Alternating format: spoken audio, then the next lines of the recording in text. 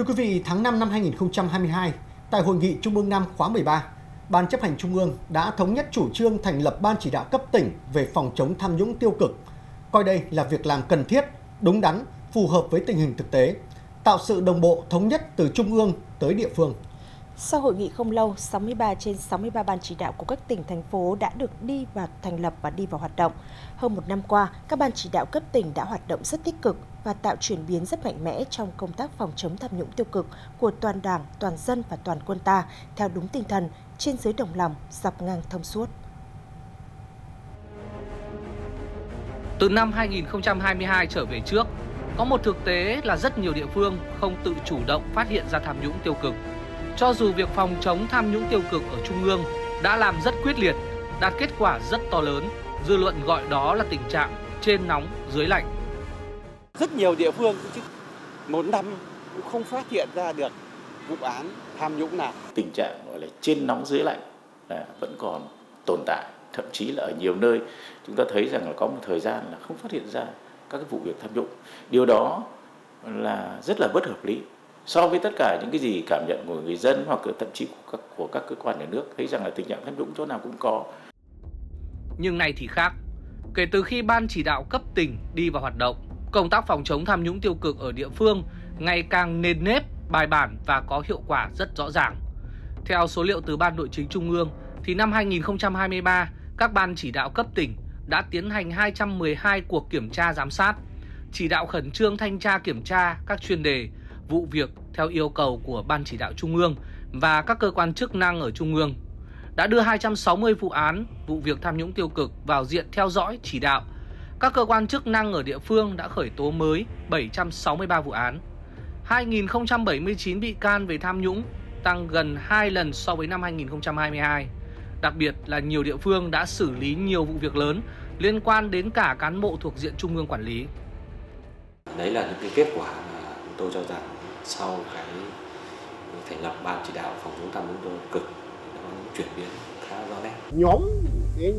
cái lò, tương tự như lò Bắc Trọng ở tất cả 63 tỉnh thành và coi đó là những cái những cái cái đầu mối phòng chống tham nhũng một cách triệt để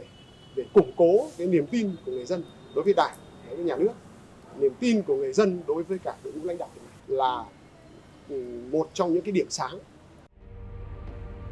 Ngày 10 tháng 1 vừa qua, phát biểu tại hội nghị tổng kết công tác ngành nội chính Đảng và hoạt động của Ban chỉ đạo phòng chống tham nhũng tiêu cực cấp tỉnh năm 2023, phương hướng nhiệm vụ năm 2024, khi đánh giá về hiệu quả hoạt động của Ban chỉ đạo cấp tỉnh, đồng chí Trương Thị Mai, Ủy viên Bộ Chính trị, Thường trực Ban Bí thư, trưởng Ban Tổ chức Trung ương, đánh giá cao hiệu quả hoạt động của Ban chỉ đạo cấp tỉnh và nêu rõ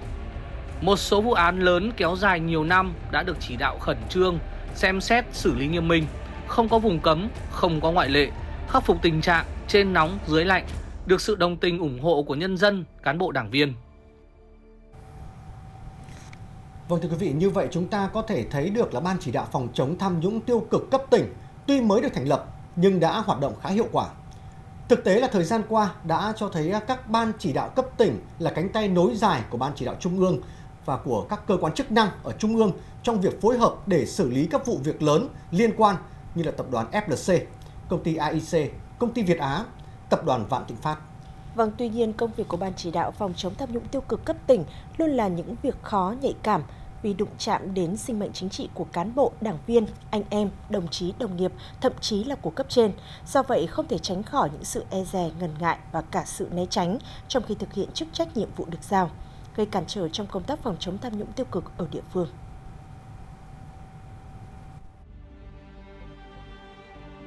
Thực tiễn cho thấy kết quả đạt được chưa thực sự đồng bộ. Một số nơi chất lượng hiệu quả chưa đáp ứng yêu cầu. Nơi này nơi kia, việc thực hiện nhiệm vụ nội chính, công tác phòng chống tham nhũng tiêu cực còn hạn chế, chưa thật quyết liệt, quyết tâm cao, có nơi còn e ngại, sợ đụng chạm, sợ ảnh hưởng đến thành tích. Đó là đánh giá được đưa ra tại hội nghị tổng kết công tác nội chính Đảng và hoạt động của Ban chỉ đạo phòng chống tham nhũng tiêu cực cấp tỉnh ngày 10 tháng 1 vừa qua. Vậy thì chúng ta cần phải ờ, đổi mới, cần phải uh, chấn chỉnh lại cái hoạt động ờ, phòng chống công tác phòng chống tham nhũng của địa phương. Chống tham nhũng tiêu cực là công việc rất khó khăn, phức tạp ở cấp địa phương lại càng khó khăn phức tạp hơn do thường bị chi phối bởi các mối quan hệ thân hữu, họ hàng hay tư tưởng địa phương chủ nghĩa sâu, rộng. Vì thế, điều cần nhất là thành viên trong các ban chỉ đạo cấp tỉnh, đặc biệt là người đứng đầu phải có đủ bản lĩnh vượt qua được những ràng buộc đó. Điều quan trọng nhất là vai trò người đứng đầu. Giống như là ở Trung ương thì trưởng ban chỉ đạo là Tổng Bí thư, mà Tổng Bí thư là người kiên quyết đấu tranh phòng chống tham nhũng, chỉ đạo quyết liệt, thì kết quả đã rõ rệt ở cấp tỉnh cũng vậy người đứng đầu là bí thư thành ủy, mà trong sạch, vững mạnh có ừ, quyết tâm lãnh đạo chỉ đạo công tác phòng chống tham nhũng tiêu cực của địa phương mình thì cái kết quả phòng chống tham nhũng tiêu cực nó sẽ tốt hơn. Tôi nhấn mạnh vai trò của người đứng đầu và ban nội chính là cơ quan tổ chức. Cái ban chỉ đạo phòng chống tham nhũng tiêu cực ở địa phương ấy cũng như ban chỉ đạo phòng chống ở trung ương ấy làm sao chúng ta uh, chỉ đạo lãnh đạo cơ quan có một cái sự phối hợp chặt chẽ chúng ta đưa ra các cái giải pháp đồng bộ và đặc biệt là nhấn mạnh cái thái độ trách nhiệm của cán bộ đảng viên nhất là những người lãnh đạo đặc biệt là người đứng đầu. Đó để làm sao chúng ta xây dựng một cái đội ngũ cán bộ liêm chính để làm sao chúng ta có một cái cơ chế quản lý chặt chẽ.